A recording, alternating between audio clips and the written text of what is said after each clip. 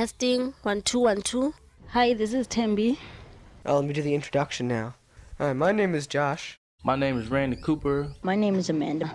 They call me Weasel. This is Christelle. Hi, this is Laura. This is Sergeant Furman Camel. My name is Joseph G. Pine. This is Ira Glass, the host of This American Life, and I am here right now as a fan of Radio Diaries. It's a project that gives tape recorders to everyday people who then document their own lives in their own words.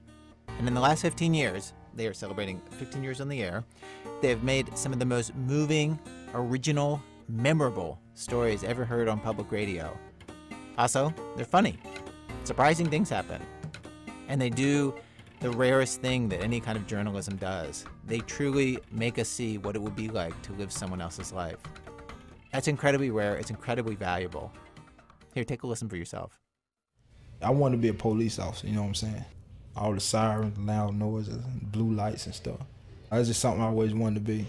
I know my life just took a big turn somewhere. All right, fellas, 5.30. Let's go. Time to get dressed. 5.30. Shout man. I have pleasure in my route. I really, uh, it's not just the money. I enjoy the route. I enjoy meeting people. I enjoy the camaraderie. I enjoy the socialism. And I like talking to people. Hello. How you doing? Like, we're really close. And there's like a love there. Well, maybe that's just a good friendship. You love friends. Yeah, but I don't do what I do with Dawn with friends. You don't do what you do with Dad with friends.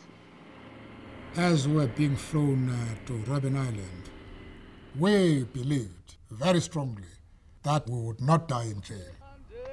We would return. But uh, we stayed there for 27 years.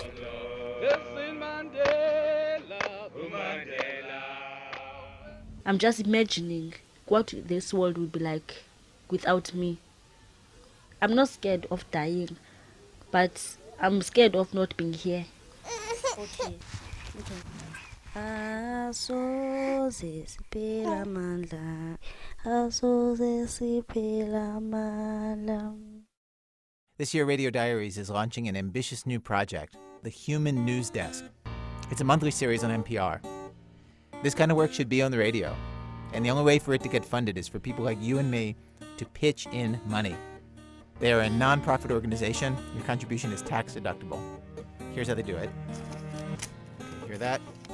That is me writing a check. That is the sound of that. This is my check to Radio Diaries. Please help support them.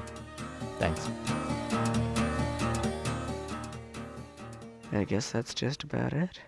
So, signing off for now.